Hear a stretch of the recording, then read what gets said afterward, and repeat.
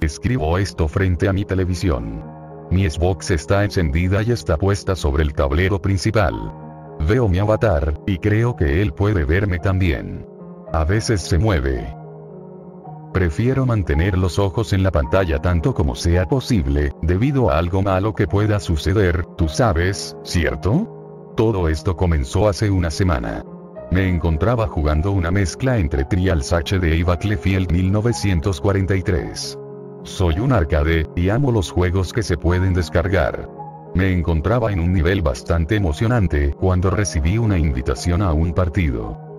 Lo raro es que no tenía nombre de usuario.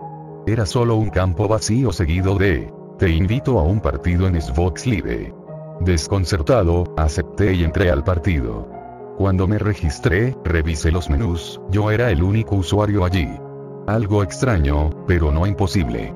La persona pudo haberse salido antes de yo entrar, justo cuando me estaba preparando para salir, alguien más se unió al partido. Al parecer, era otra vez yo. Silicon Lenny se ha unido al partido. Esto me hizo reír, ya que a veces se ven algunas fallas bastante extrañas en la red. Revisé los menús y vi mi nombre dos veces en el partido. Uno se encontraba jugando y el otro estaba modificando su avatar. Hola. Dije, sin esperar realmente una respuesta. Hola. Mi voz se hizo eco dos segundos más tarde. Estaba tranquilo. Los retrasos sonoros y los fallos en el software son bastante raros, pero ocurren. ¿Escuchaste eso? Dije, un poco molesto porque había logrado asustarme.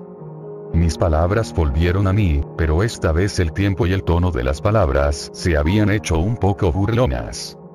Esto me hizo detener por un segundo. Sacudí la cabeza y pensé que debía haber escuchado mal.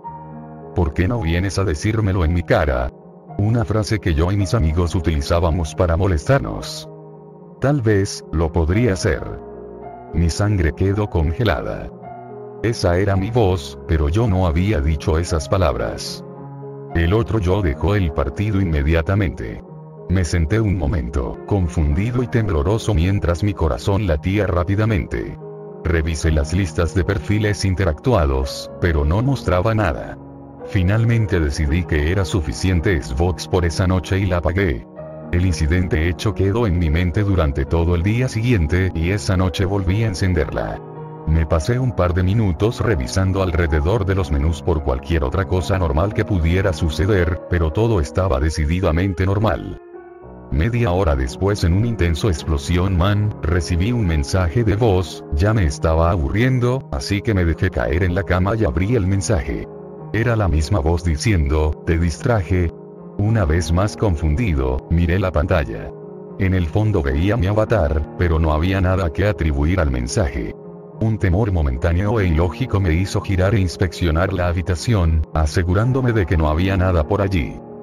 Fue cuando volví mi cabeza de frente y, casi grité. Mi avatar había forzado su camino hacia adelante sobre los menús y su cabeza llenaba toda la pantalla. Me miró en silencio, con las manos apoyadas contra la pantalla desde el lado opuesto. Me señaló y luego se metió un dedo en la garganta. Empecé a oler a plástico quemado. Un hilo de humo se escapaba de la consola y luego estalló.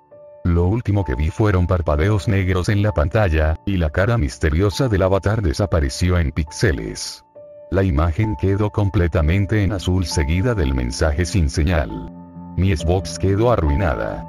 Cuando intenté encenderla de nuevo, solamente brillaba el círculo rojo. Esperé un mes antes de que finalmente enviara mi Xbox a reparar. La había comprado nueva, y aún estaba dentro de la garantía así que me salió gratis. La dejé en mi pasillo durante 15 días antes de que tuviera las agallas para volver a encenderla. Finalmente me decidí a arriesgarme. Todo iba bastante normal, hasta que entré en mi perfil y vi literalmente decenas de mensajes de voz. Todos ellos con mi voz gritando, ¿Dónde estás? Y, no hemos terminado todavía. Un último mensaje fue enviado hace 20 minutos. Todo lo que dijo fue, me he cansado de esperar, iré a buscarte. El avatar en la pantalla caminó hacia adelante y luego comenzó a frotarse las manos, enseguida empezó a agitar su mano. Me tomó un par de segundos para darme cuenta de que estaba saludando a alguien detrás de mí.